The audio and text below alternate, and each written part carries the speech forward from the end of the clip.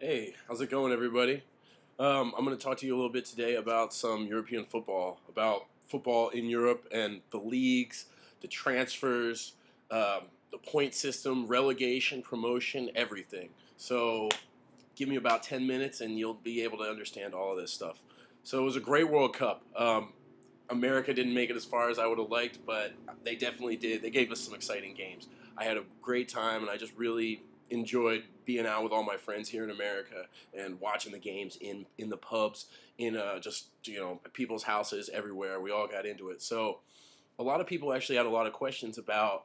Um, you know who the stars were that were in the World Cup from all over the country, where they played, what leagues they played in, you know, and then once I basically explained that all the best players, most of these guys that play on these national teams, on all the big, big national teams, and then even Uruguay, Paraguay, you know, even uh, South Korea, Japan, a few of them, they like the best from all of these teams play in Europe. And so the European leagues is are the most exciting to watch. So this is a little instruction or you know, a little tutorial for all of you who have all of you people who have questions about um, how how football works in Europe it's actually kind of complicated. So sit back and relax for, you know, and here we go.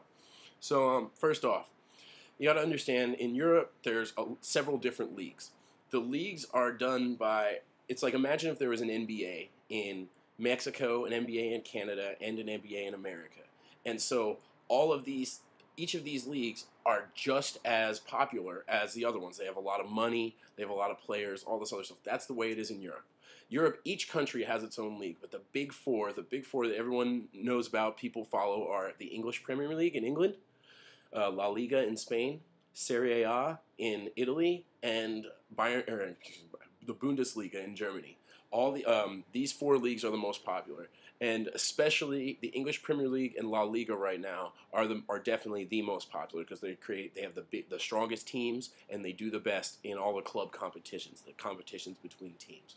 But uh, we'll get that, get to that. So, like I said, imagine if there was an NBA in each of these, uh, in all of these different countries, or in each of the, in each of these countries um, in North America. That's what it's like in Europe, but there's several different of them. So people, there's a lot of um, transfers, a lot of you know goings on outside of the country, and then back in, and then between the teams in their own countries. Uh, FIFA controls is the governing body for the World Cup for all of these teams, the Federation of International Football Associations. Um, okay, in each league, the in um in, in, the English Premier League, the big four teams, the ones that are traditionally dominant and win championships the most, are uh, Arsenal, my team right here, Arsenal, uh, Manchester United, Chelsea, and Liverpool. In Spain, it's um, Real Madrid and Barcelona. Just those two, basically, every year go at it for the for uh, who wins the, who's going to win the championship. In um, in Italy, the number one, or the, basically the big team right now is Inter Milan. Uh, a lot of teams were fined and haven't been doing well in the past few years uh, because of a scandal called Calciopoli. Look it up. Uh, it was a ref bribery scandal. Inter Milan has won the Serie A, won the league for the past five years in a row. So it's it's kind of been one-sided. And then in the Bundesliga, Bayern Munich is traditionally dominant, even though they haven't done the best in the past little bit of time, past three four years. They've definitely won more um, Bundesliga titles than any other team. Um, so basically, and then also what's complicated about um, about football in Europe is there is no um, there's no playoffs, there's no championship, there's no the bet you have the best record, you make it to the playoffs, and the two best teams play each other. In football, in, in like basically this is, there's no playoff like that outside of Canada, USA, and Australia. Basically, most sports in the world play on a point system.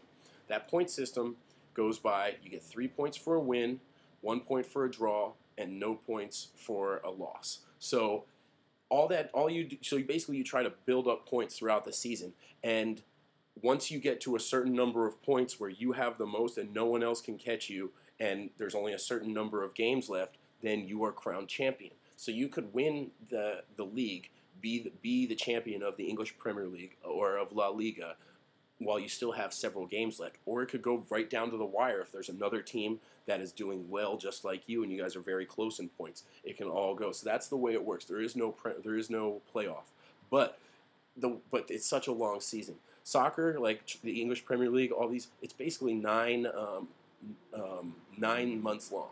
Uh, from basically like end of July, early August until beginning to mid May. And this is a you know, like that's a very long season.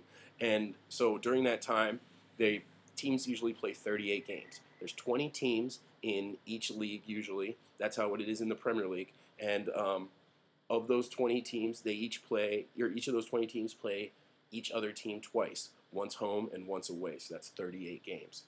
And then also, because of the point systems, you can rank how exactly how good a team is each year. It's Number one, they have the most points. Number two, all the way down to the bottom, number 20.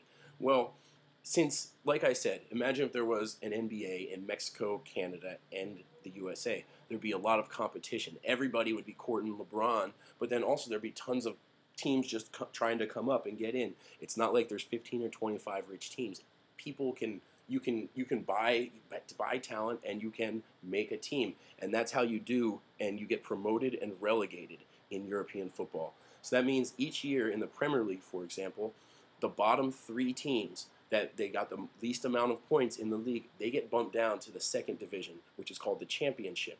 And then the top three teams from this championship, they get moved up to the Premier League. So unless your team is really good and they traditionally always they never have to worry about relegation, a team could be in the Premier League one year and then three or four seasons. Oh yes, there's also League two, one, two, three, four, five, six, all the way down.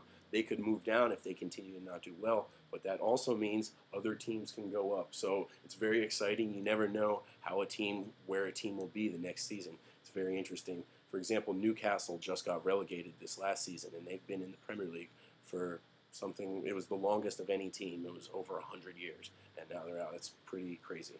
But um, so then um, also transfers. Like I said, um, because the uh, there's there's so many leagues throughout the uh, throughout the uh, throughout Europe they there has to be a certain time when they can transfers for international transfers between countries between leagues there are um, you can have transfers from july 1st to the end of august and then one month during the season which is january 1st to the end of january and then um, finally the big thing is a lot of people seem to think that there's peop- that like the players um, on the national teams play for like two or three different clubs two or three different teams and because they play in so many different competitions, and that is true. They do play in a lot of competitions, but they they only play for one team, their club team.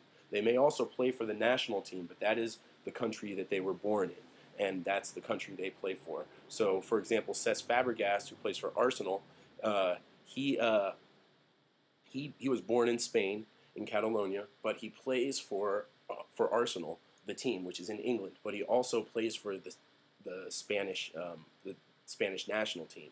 That's because he's allowed to play for his country, but then also he can choose whatever league he wants. So he plays in England, while Wayne Rooney is from England and plays in England.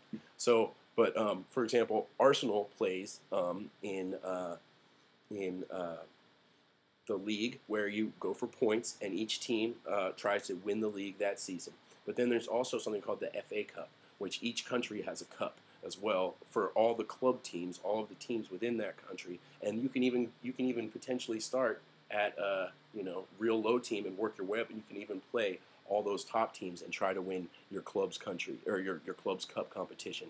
Um, anybody can join, so mostly the Premier League teams win it, but that's the way it goes. And then finally, um, there's the Champions League, and the Champions League is a big deal. It's where all the top teams from Europe get together and they um, and like for example, the English Premier League has four four teams, and then Spain has the top four teams, Italy, and then even the Netherlands, Portugal. They all have. They may not get four teams, but they get a certain number of teams, and they put their top teams in, and it's a club competition for all of the best teams in Europe.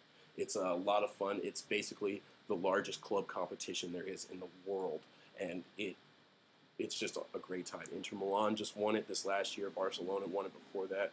Hopefully, um, Arsenal wins it this year. We'll see. But uh, yeah, so that's my quick rundown on understanding European football. I hope that was pretty simple, and I hope you guys can get it. Um, any Americans that want to now feel like you know what you know uh, a little bit about uh, European football, want to come out to the pub, I'll see you out there. It was uh, can't wait. Go Arsenal! Looking forward to a great season. Have a good one, all.